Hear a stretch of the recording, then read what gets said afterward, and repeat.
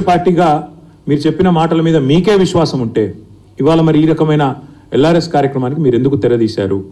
మార్చి ముప్పై ఒకటి లోపల ఖచ్చితంగా కట్టి తీరాలి అని మీరు ఏదైతే చెప్తున్నారో ఇది మరి ఎంతవరకు సమంజసం మీరే చెప్పాలా? ఎందుకంటే ప్రభుత్వంలో లేనప్పుడు ప్రతిపక్షంలో ఉన్నప్పుడేమో ఫ్రీగా చేస్తామని చెప్పి ఊకదంపుడు ఉపన్యాసాలు ఇచ్చారు. ప్రజలకు అబద్ధాలు చెప్పి అధికారంలోకి వచ్చారు.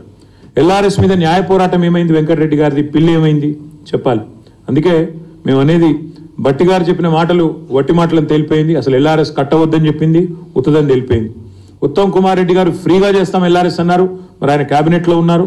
ఇవాళ ఆయన క్యాబినెట్ ఆయన ఏ మంత్రివర్గంలో అవుతున్నారో ఆ క్యాబినెటే ఎల్ఆర్ఎస్ కట్టాలని చెప్తా ఉంది. అదేవిధంగా సీతక్క గారు చిల్లిగవ్వలేదు ప్రజల దగ్గర అన్నారు.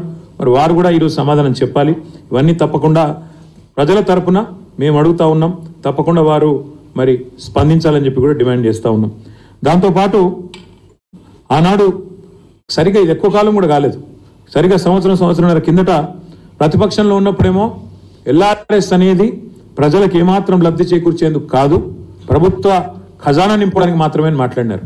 కానీ ఈరోజు మళ్ళీ నాలిక మడతేసి ఇష్టం వచ్చినట్టు ఉచితంగా చేస్తామని చెప్పి అసలు కట్టవద్దని చెప్పి న్యాయ పోరాటం చేస్తామని చెప్పి టీఆర్ఎస్ వద్దు ఎల్ఆర్ఎస్ వద్దు టీఆర్ఎస్ వద్దు కాంగ్రెస్ ఏం వద్దని చెప్పి ఇవాళ అధికారంలోకి వచ్చిన రెండు నెలల తర్వాత ఇరవై వేల కోట్ల రూపాయల భారాన్ని మధ్యతరగతి ప్రజల మీద మోపే ప్ర- ఏదైతే ప్రయత్నం ప్రభుత్వం చేస్తున్నదో దీన్ని తప్పకుండా విరమించుకోవాలి.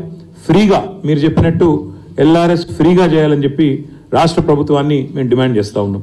ఎల్ఆర్ఎస్ పథకానికి అప్లై చేసిన ఇరవై ఐదు లక్షల నలభై నాలుగు వేల మంది ఎవరైతే ఉన్నారో వారందరి తరఫున రాష్ట్ర ప్రభుత్వాన్ని కోరుతున్నాం.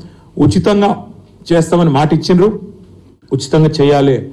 లేకపోతే ఒక్కొక్క కుటుంబం మీద దగ్గర దగ్గర లక్ష రూపాయల పైచలకు భారం పడే ప్రమాదం ఉంది. మీరు ఇరవై వేల కోట్ల రూపాయల కోసం మరి ఈరోజు వాళ్ళు ఈ రకమైన కార్యక్రమం తీసుకున్నారు. ప్రజల నుంచి ముక్కు బిండి మార్చి ముప్పై ఒకటి లోపల వసూలు చేయాలని ముఖ్యమంత్రి గారే టార్గెట్ ఇచ్చినట్టుగా మాకు సమాచారం ఉంది. ఒక్కొక్క కుటుంబం మీద లక్ష రూపాయల పైచిలకు మరి భారం పడబోతా ఉన్న ఈ పరిస్థితిని వెంటనే ప్రభుత్వం స్పందించి తప్పకుండా వారు ముందుకు వచ్చి గతంలో ఇచ్చిన మాట ప్రకారం వారు నిలబెట్టుకోవాలి ఉచితంగా చేయాలని చెప్పి కూడా మేము కోరుతా ఉన్నాం. పేద ప్రజలు ఆనాడు బట్టి విక్రమార్క గారి మాట. పేద ప్రజలు కష్టపడి పోగేసుకున్న ఒక్కొక్క రూపాయిని కష్టపడి కొన్ని ప్లాట్లలో పెట్టుబడి పెడితే దాన్ని లాక్కుంటుంది ప్రభుత్వం ఇవాళ మరి రిజిస్ట్రేషన్ చేయమని మెడ మీద కత్తి పెట్టిందని చెప్పి విక్రమార్క గారు ఆనాడు అసెంబ్లీలో మాట్లాడిన మాట. అందుకే మేమనేది వెంటనే ప్రభుత్వం స్పందించి మరి తప్పకుండా ఈ విషయంలో వారి వైఖరిని మార్చుకోవాలని డిమాండ్ చేస్తా ఉన్నాం. ఆ రోజు బట్టి విక్రమార్క గారు చేసిన డిమాండ్ని నేను పునరుద్ఘాటిస్తా ఉన్నా. రిజిస్ట్రేషన్ ఆల్రెడీ అయిపోయింది మళ్ళీ ఎల్ఆర్ఎస్ ఎందుకు కట్టాలి? అసలు ఎల్ఆర్ఎస్ కట్టకపోతే రిజిస్ట్రేషన్ ఆపే అధికారం మీకు ఎవడిచ్చిండు అనే మాట ఏదైతే అన్నారో నేను వారిని అదే గుర్తు చేస్తా ఉన్నా. ఉచితంగా రెగ్యులరైజేషన్ చేస్తామన్న ఉత్తమ్ కుమార్ రెడ్డి గారి మాటలు ఒట్టి మాటలా లేదా నిజంగా నిశ్చితశుద్ధితో చెప్పిన మాటలా తప్పకుండా వారి సమాధానం చెప్పాలి అనే మాట కూడా నేను డిమాండ్ చేస్తా ఉన్నా. దాంతోపాటు ఆ రోజు ప్రతిపక్షంలో ఉన్నప్పుడు ఒకలాగా అధికారంలో ఉన్నప్పుడు మరొకలాగా వ్యవహారం చేస్తున్న మీ తీరును కూడా ప్రజలు గమనిస్తున్నారు. ఇరవై ఐదు లక్షల కుటుంబాలు ఒకటి కాదు రెండు కాదు ఇరవై ఐదు లక్షల కుటుంబాలకు సంబంధించిన ముఖ్యంగా పేద దిగువ మధ్యతరగతి కుటుంబాలు మరి మార్చి ముప్పై ఒకటి లోపల మెడ మీద కత్తి పెట్టి కట్టాల్సిందే అని ముక్కుబిండి వసూలు చేసే ప్రయత్నం ఏదైతే చేస్తున్నారో దీన్ని తప్పకుండా నిరసిస్తున్నాము ఖండిస్తున్నాము తప్పకుండా క్షేత్రస్థాయిలో పోరాటాలకు కూడా పిలుపునిస్తూ ఉన్నాం. ఒకవైపు ఇప్పటికే పంటలు ఎండుతా ఉన్నాయి. నీళ్ళు లేక పంటలు ఎండుతా ఉన్నాయి. మరి ఒకవైపు రైతు కుటుంబాలు కానీ దిగువ మధ్య తరగతి కుటుంబాలు కానీ ఇబ్బందుల్లో ఉన్నాయి.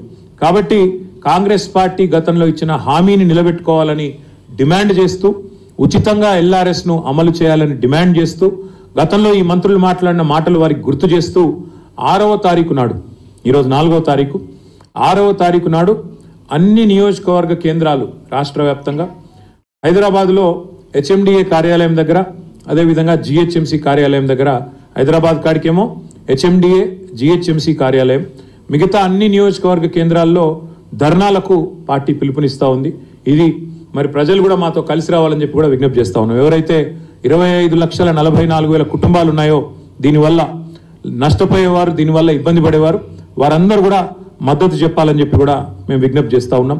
ఆరవ తారీఖు నాడు రాష్ట్ర వ్యాప్తంగా ధర్నాలు కూడా చేయబోతా ఉన్నాం. నిరసన కార్యక్రమాల్లో ఇది మొదటిది కాబోతా ఉంది. తదనంతరం జిల్లా కేంద్రాల్లో కూడా మరి జిల్లా కలెక్టర్లను కలవడం అదేవిధంగా రెవెన్యూ ఆర్డీఓ గారు కలెక్టర్లు అక్కడ కలెక్టర్లు లేని చోట ఆర్డీఓలు అక్కడ ఆర్డీఓలను కూడా కలిసి మా పార్టీ తరపున బాధితుల తరపున వినతి పత్రాలు కూడా అందజేస్తాం. తప్పకుండా మా పార్టీ తరఫున న్యాయ పోరాటం కూడా చేస్తాం ఈ విషయంలో అని చెప్పి కూడా నేను విజ్ఞప్తి చేస్తా ఉన్నా. గతంలో మరి పిల్లేసిన వెంకటరెడ్డి గారు గతంలో పెద్ద పెద్ద మాటలు చెప్పిన బట్టి విక్రమార్క గారు ఆనాడు ఫ్రీ అని ఇవాళ ఫీజు అడుగుతున్న పెద్దలు ఎవరైతే ఉన్నారో వీరందరినీ కూడా నేను విజ్ఞప్తి చేస్తా ఉన్నా స్పందించండి. తప్పకుండా మీరు స్పందించి మీ వైఖరి మరి మార్చుకొని తప్పకుండా మీరు ముందుకు రావాలని విజ్ఞప్తి చేస్తూ మరి ఈ వీడియోలు ఏవైతే బట్టి గారు చెప్పిన మాటలు ఏదైతే సీతక్క గారు చెప్పిన మాటలు ఉత్తమ్ కుమార్ రెడ్డి గారు చెప్పిన మాటలు ప్రతి గ్రామానికి ప్రతి పట్టణానికి కూడా సోషల్ మీడియా ద్వారా కూడా విస్తృతంగా పంపిస్తాం. వీళ్ళ ద్వంద్వ వైఖరిని వీళ్ళ రెండు నాలుకల విధానాన్ని ప్రతిపక్షంలో ఉన్నప్పుడు ఒకలాగా అధికారంలో ఉన్నప్పుడు మరొకలాగా మాట్లాడే వైనాన్ని కూడా ఎండగడతాము. తప్పకుండా ఆరవ తారీఖు నాడు అన్ని నియోజకవర్గ కేంద్రాల్లో నిరసనలు. ఏడవ తారీఖు నాడు అన్ని ఆర్డీఓ కార్యాలయాలు అదేవిధంగా కలెక్టర్ ఆఫీసులను కాడ ముప్పై మూడు జిల్లాల్లో కలెక్టర్ కలెక్టర్లకు కూడా విజ్ఞాపన పత్రాలు ఇస్తాం. అప్పటికి ప్రభుత్వం దిగి రాకపోతే న్యాయ పోరాటం కూడా ఈ ఇరవై ఐదు లక్షల కుటుంబాల తరపున చేస్తాము. మేము కూడా ప్రజలకు విజ్ఞప్తి చేస్తా ఉన్నాం. ఎల్ఆర్ఎస్ కట్టమని ఎవరైతే అధికారులు ఒత్తిడి చేస్తా ఉన్నారో ఫోన్లు చేస్తా ఉన్నారో వారిని అడగండి నిలదీయండి. మరి మీరే